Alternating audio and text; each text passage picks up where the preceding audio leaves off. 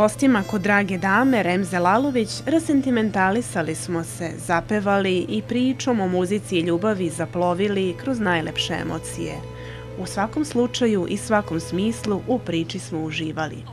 Večeras razgovor počinjemo o uspehu, a nastavljamo naravno o ljubavi, jer u ovom razgovoru ljubav je glavni light motiv i njome je sve prožeto kada je u pitanju naša gošća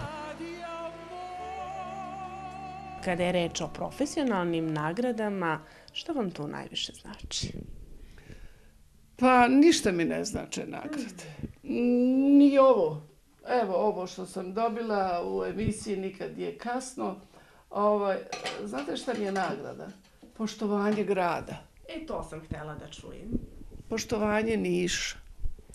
Recimo, ja sam mogla da živim gdje sam htjela. Recimo, za mene bio Novi Sad više nego moje srce.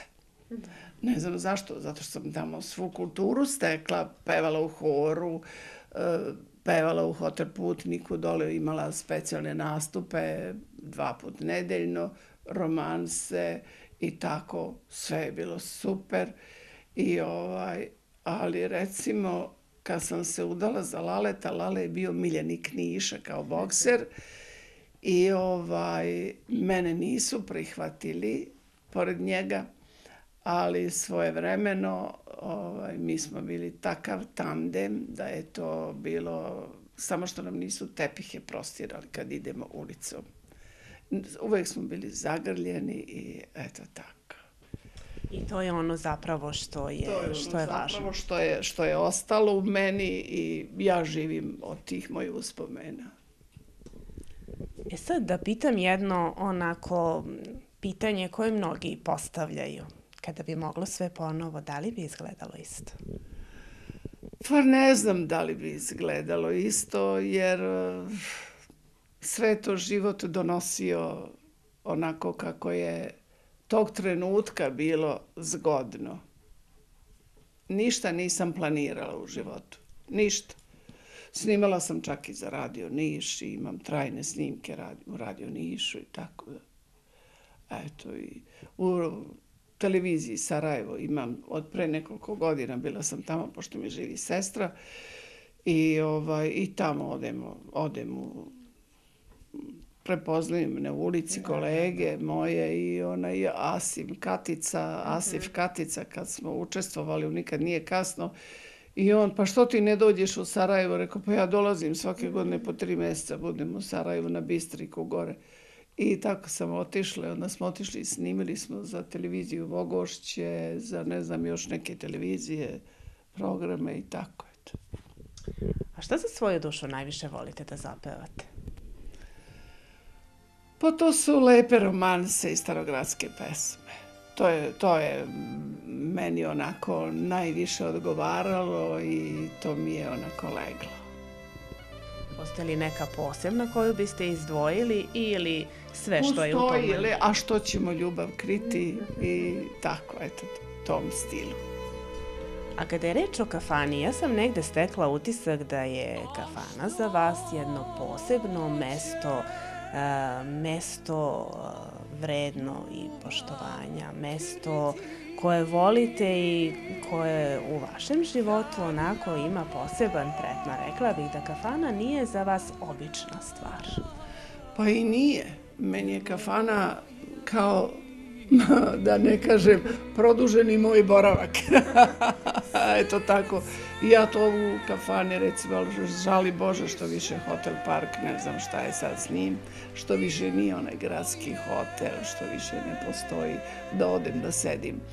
Recimo u Španiji kažu Sarita Montiel, vi se to ne sjećate, glumice koja je fantastično pevala prodavačica Ljubičica u filmovima, da su nju kao ikonu u Madridu plaćali joj da ona sedi u jednom ovaj, divnom uglu punom cveća i ljubičice sve da i narod ovako gleda u nju, a ona je igrala u filmu i u korpi prodavala ljubičice.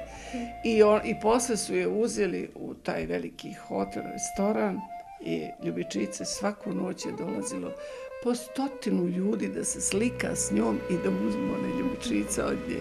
E, to je bilo zadnje zanimanje. A što ja to recimo nisam u tom domenu i da neko sad juri za jednom babom ovdje. Dobro. A kada je reč o samim pesmama, vi ste birali ono što je vama blisko, odnosno ono što volite i privatno, to ste birali i profesionalno, jel da? Jeste, da, apsolutno.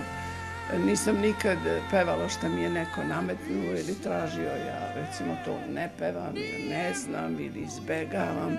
Sad ćeš da čuješ lepu pesmu, sad ćeš da čuješ i ovo će ti se svideti i tako. Znači, bitno je u tom smislu, rekla bih da se to malo sad negdje izgubilo. Važno je da kvalitetan pevač u svakom trenutku drži do sebe. Da, sad je ovaj, mnogo da turbo muzika uradila svoje što je uradila. Tako da, ovaj, recimo ja da živim u Beogradu, postoji jedna kafana u Beogradu gdje nema pojačalo, nema mikrofon. Postoji samo klavir i pevač se nasloni na klavir i počinje da peva. E, ja bi to radila u Nišu da postoji takva kafana. Znači, tako nešto nam nedostaje. Da. E, ja bi pevala, ne treba da me plate. Bila bi zadovoljna da me vide i da ja vidim narod. Eto, to je.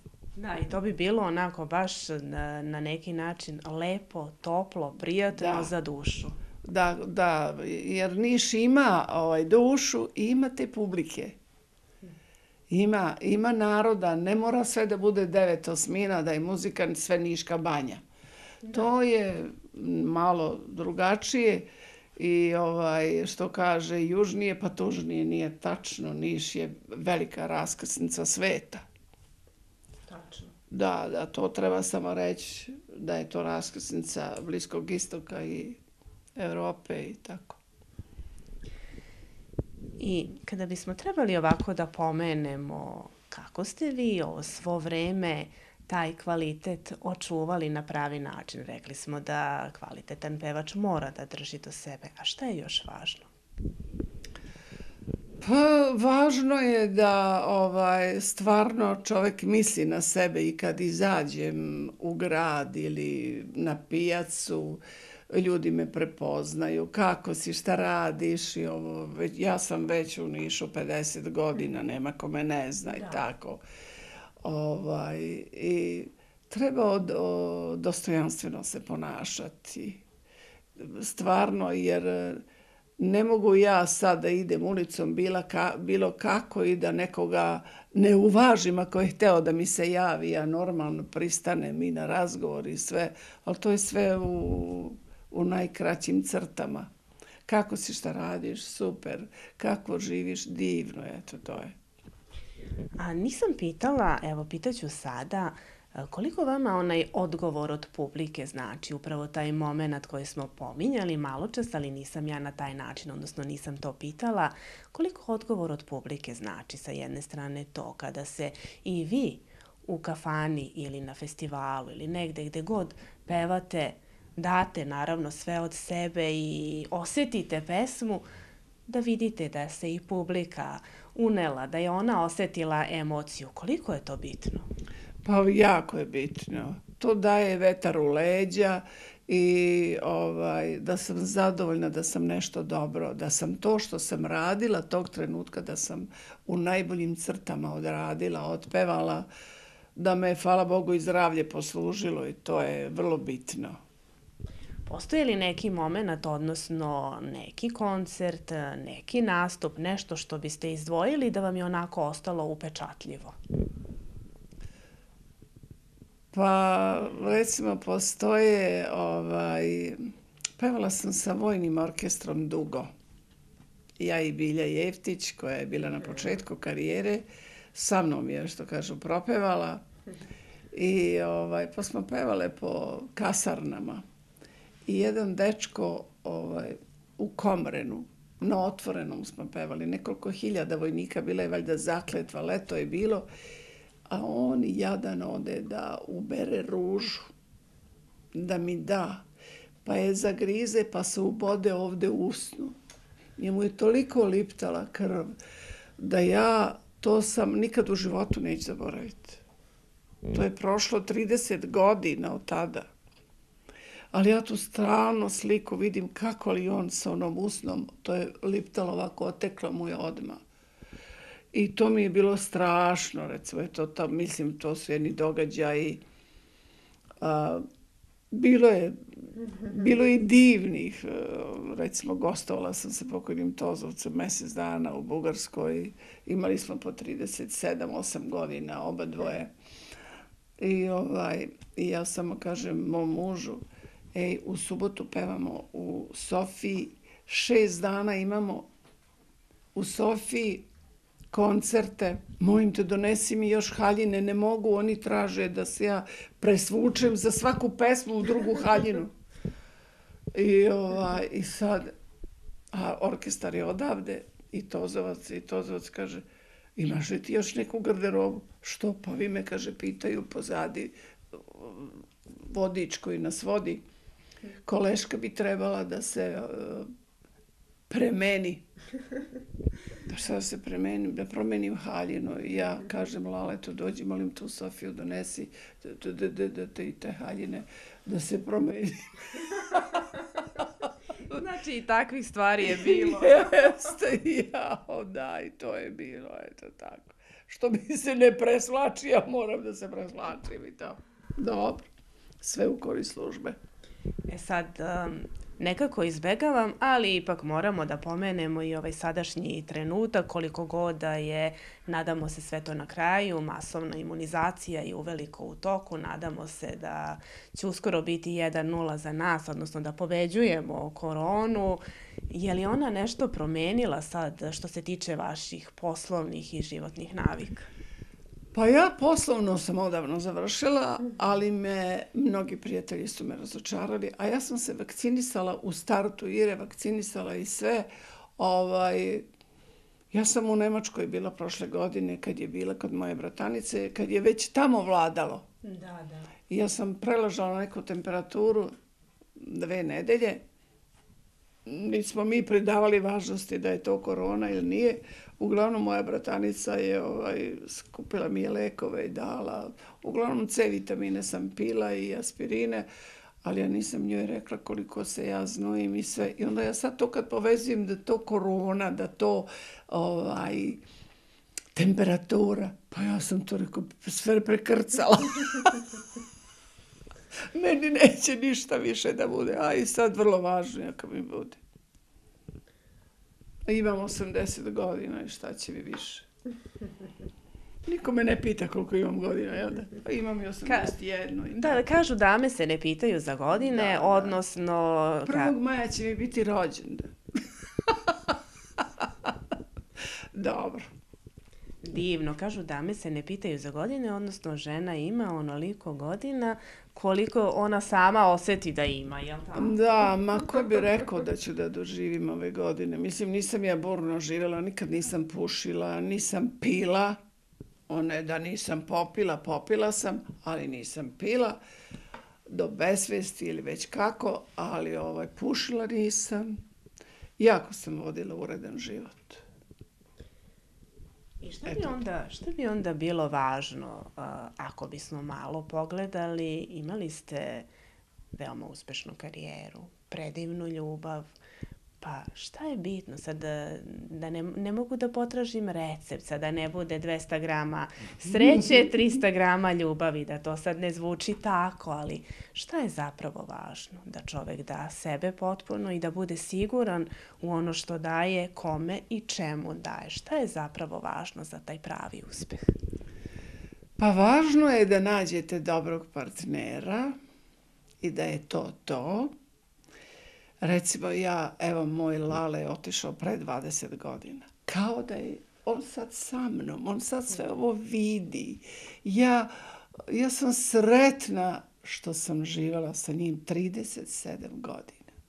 Bilo je tu burnih događaja, bilo je tu i svađa, i svega, i vraćanje novinara sa vrata, i šta ja znam, i ja da vratim moj muž nije raspoložen i tako. Da, da. Sve sam ovaj, gledala da on je bio jako emotivan, pošto je njih bilo šestro dece, a ja sam deveto dete u mojoj porodici. I još je bilo troje posle mene. I, o, i on ovaj, je imao njih tri brata i tri sestre i tako. Ovaj. I strašno smo se razumeli što se toga tiče. Strašno smo se držali, pa to je neverovatno. Neverovatno koji smo mi bili spoj.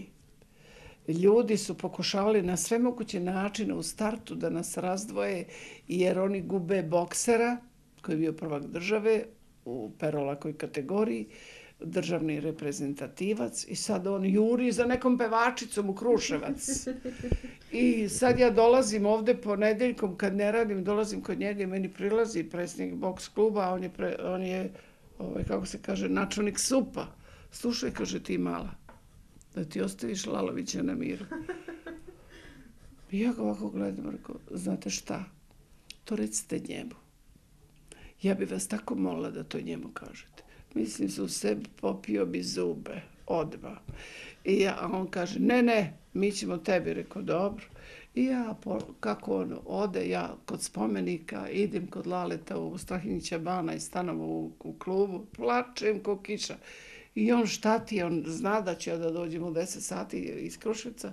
Rekao, sreo me brka tvoj, rekao mi to i to. Šta ti je rekao da se ja sklonim iz Niša? On kaže, ej, nemoj da vrćeš pažnju, ne mogu nam ništa. Eto, to je bilo to. Nemoj, kaže, da vrćeš pažnju. Pa kako rekao, da kad mi on rekao? Posle su mi se klanjali. Znači, to je, to je to. Kad... Trebalo je izdržati sve to. Ali ste znali i zbog čega, a da. pre svega zbog koga. Da, da, da, da. Kad su oni videli šta je Lale postao. I on je došao do profesora u Gosljevske škole, predavao je ovdje na Radičkom, predavao je u Bujanovcu, završio je sve u Gosljevske škole, od konobara, kuvara i poslovanja.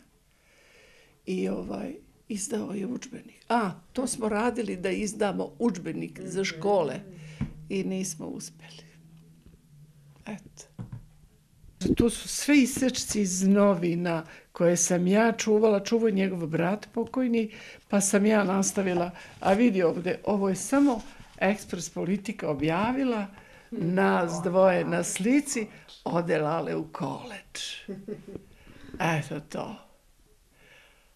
A to je bilo na naslovnoj strani Ekspres Politike. Da, ipak je nešto značio. Eto smo nas dvoje ispred politike u Beogradu. I eto, to je.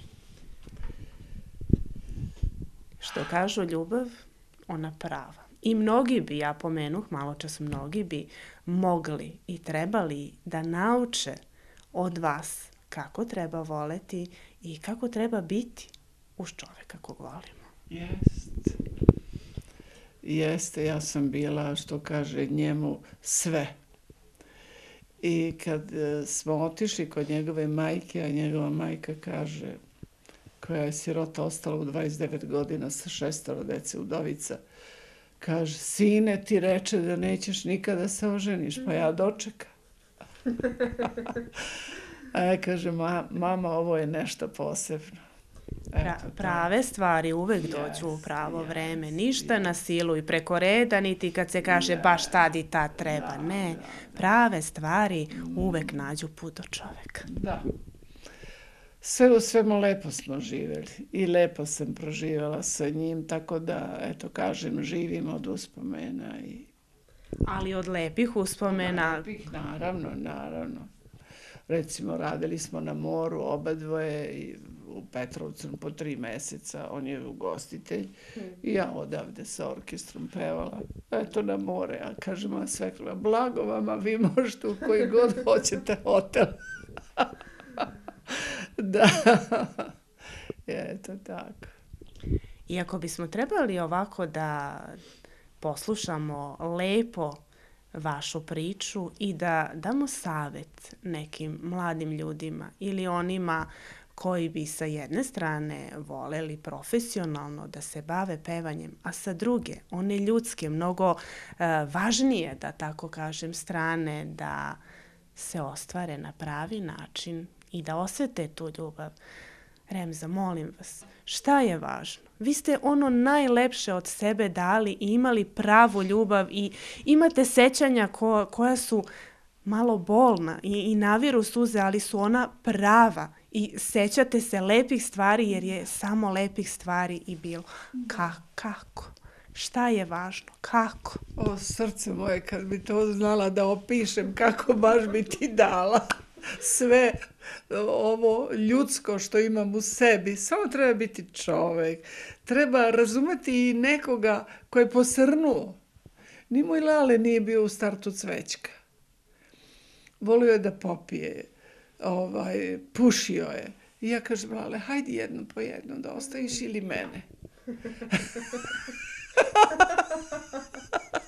hajdi jedno po jedno a sve krva moja, jao, snaj ka Bog ti dao zdravlje kad si ga odučila da puši. A on bio mršav, ja da nije smeo da puši. Rekao, eto, presto je i to. Znači, to je ono što je bitno, yes, da smo yes. u svakom trenutku spremni, jeste, rešeni jeste, i uz jeste, onoga do koga mi zaista Jeste, da, u svim segmentima, znači, treba stvarno se nekome, recimo, ja sam znala, on trebao, radio je tu kao šef sale u pravniku Uniona, to je bila jedina gradska kafana u to vreme, u to vreme pre 50 godina, da kažem. On mora da ide prvi da otvori tu kafanu, ja ustanem u pet, navijem sat, ustanem u pet, iskuvam kafu i sve mu spremim, odelo, košulju. Ajde, lale, ajde, lale hajde, lale, srce moje, hajde, moraš da popiješ kafu, moraš da ideš, radnici te čekaju.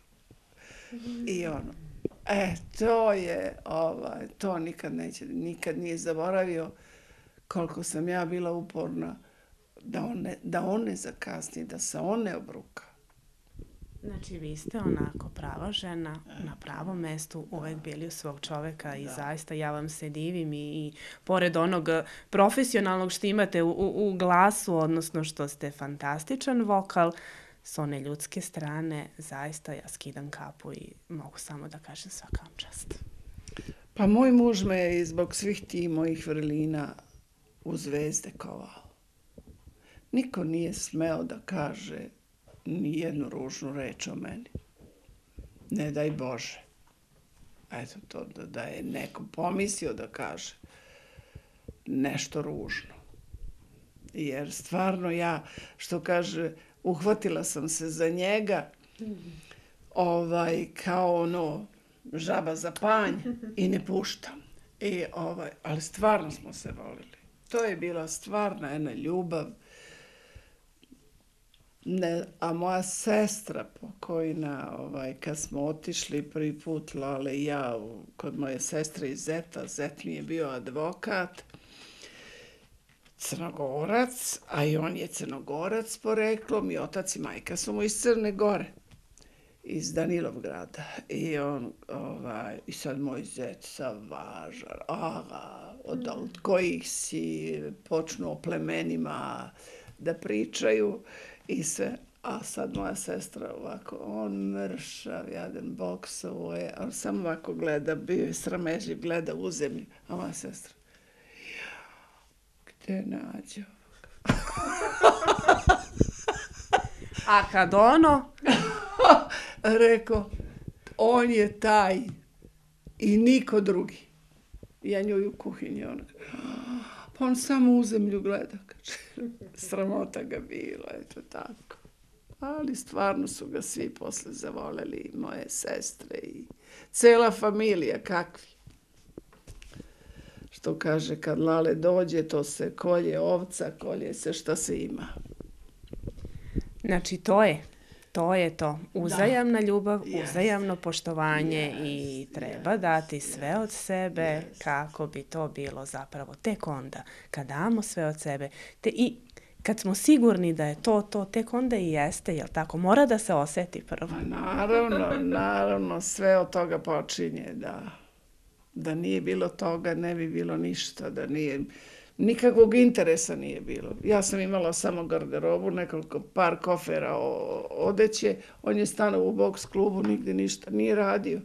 I onda kad smo trebali da se uzmemo, on kaže, pa ja moram da radim, da ti ne radiš. I tako je bilo. I tako je bilo. Da, I tako da. je trajalo. Trajalo, tako. Zve. I tako je ostalo za pamćenje. Jeste, i posle kad su ga njega, kad je on završio tu višu školu u Beogradu na golfu i bi dođe tamo Lepa Lukić ili dođe neko od čuvenih ovih pevača, a on kaže da vi znate kako moja žena peva. I ovo je ono, pa što je ne dovedeš? Pa kaže, pa vidjet ću, doveću i tako. Eto to. da. Znači, uh, puno toga lepog. Ona je lepo bila. Puno lepog, puno onog kvalitetnog i zapravo ljudskog. I profesionalno i privatno. Jeste, jeste. Ja se što kaže zahvaljujem svima koji su me ispoštovali i danas dan koji me poštuju i eto tako i vašoj televiziji naravno. Uh, već koji put dajem intervjue, intervjue ovaj, vašoj televiziji, svim novinarima i tako.